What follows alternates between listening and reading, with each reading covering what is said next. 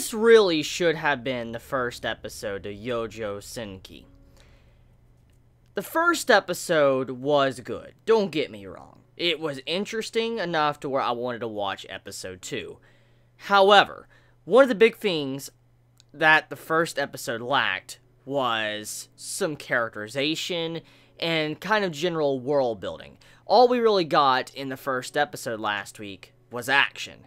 However, episode 2 of Youjo Senki, I feel, is a hell of a lot better of an episode than the first episode that aired last week.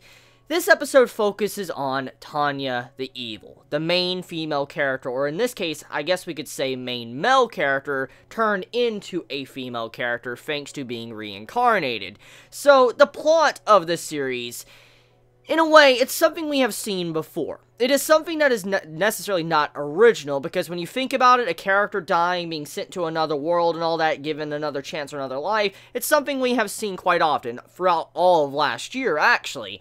But however, the way it is done with this episode, the execution of it is just so good. And also the mix of a cutthroat person that is in a corporation along with someone that straight up is a part of the military I love the actual blending of that type of character, especially seeing the way it was displayed throughout this episode.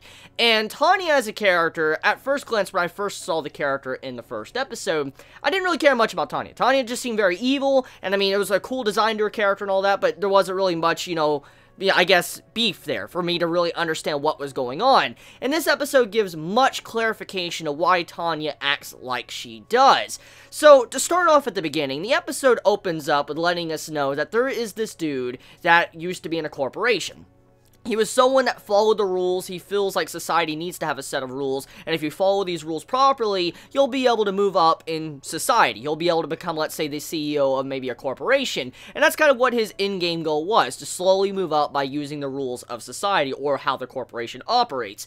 And obviously, if you're going to follow the rules, many are going to look at you as if you're a scumbag, or some are going to say, like, do you not have a heart? And as you see in this episode, is that the character would lay off people. He would fire them and all that that, and the people would get very upset with him, and this is how actually real life is. I mean, if you have the job of firing people, obviously people are going to be pissed off with you. They're just going to be really mad. Even if it's their fault they got fired, they're going to be mad at you because you're the one firing them. And so the main character got a lot of hatred directed towards him because he was constantly the one just doing his job. And after firing the wrong person, someone got eventually really pissed off with him, and they decided to try to take his life. And then that leads us into the actual plot of the series, finding out that the reason why the main character got turned into a girl in the first place is thanks to him being reincarnated. So the point is, is right before he was about to die, this train's coming in, he's about to get hit, and then time just stops right then and there. And he looks around, he's like, what the fuck is going on? And he sees how a bunch of these people in the crowd just start talking, and he realizes he must be talking to some form of entity, for instance, maybe God or the devil. And eventually he decides to dub this, you know, entity as being X, because he doesn't really know exactly what this creature completely is. However, even though he has a conversation with God, he even states he will not accept God. He will not accept this being that is before uh, before him at all, and he just doesn't care about it. And so you have it to where this being X decides to say, "Oh, so you don't believe in God or whatever." And I guess the only way for you to maybe believe in God is if you have some form of conflict in your life, if you have your life in jeopardy. And so he sends the main character to another world that has magic and is set in World War One, and that's kind of where the story takes place. So overall, the plot of the series is nothing original. It's nothing I haven't seen before. But the way it is done, it's tasteful. It's not something that just is like, eh, just get the shit out of here. It doesn't feel like that. Actually, Youjo Senki, now, after this episode, I have a whole new respect for this series, and I actually am really starting to enjoy the series. I mean, I liked the first episode, but it didn't have enough of that world building or characterization to really make me interested. And this episode alone ignites my feelings for the series once again. For instance, I want to watch the series. I want to see the next episode because now even though I know it's similar to other series I've seen, the way it's done, it's interesting. Like I said, I love the display and the contrast between Tanya, this evil loli type psychotic character, to the salaryman type character that has been reincarnated. I like the display of the this character personality kind of meshed together and how it is shown in this episode. And I mean, we also get a lot of explanations to why this character acts like he does. For instance, how he wants to move up if throughout, you know, the actual standing of the military. Why, you know, he constantly acts like he's very brutal or evil. He's just acting like a stereotypical salaryman or someone would be a politician. He's just doing everything he can to follow the rules, but also move up and keep himself alive as well. And so, yeah, I mean, the introduction of this character or the characterization that it got throughout the episode definitely was enjoyable. So, besides that, let's talk about the sound part of the episode. So, this is something I didn't really talk about much in my first episode review, but I want to kind of discuss it in this episode review.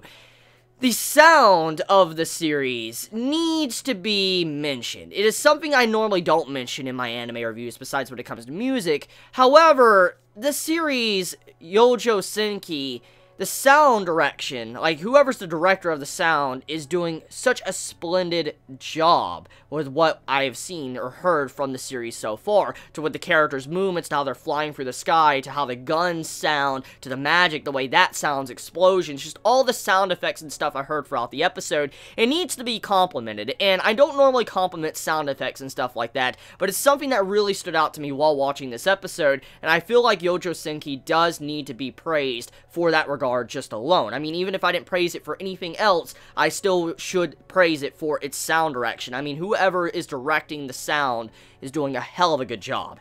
Now, regardless of that, though, I say it's a very solid second episode, definitely better than the first episode, and I mean, honestly, like I said, I felt like this should have been the first episode, and then they should have given us the action episode that we saw with the first episode. Regardless, though, I'm glad I got to see it, and I'm glad I saw this episode, and I'm glad, you know, I decided to stick around for the most part to see if I would like the series, because honestly, I mean, I didn't know if I would like or not after the first episode, but after seeing this, yes, I, definitely did enjoy it. So let me know your thoughts. I mean, how do you all feel about Youjo Senki? How'd you feel about this latest episode? How'd you feel about, you know, the characterization that, you know, Tanya got? How do you feel about finding out the past and how there's, like, another universe and how he is brought to this universe that has magic? How do you feel about the upbringing of Tanya in this world? Let me know your honest thoughts in the comments below, and I love you all so much. You have a wonderful day or night wherever you live. Please be safe.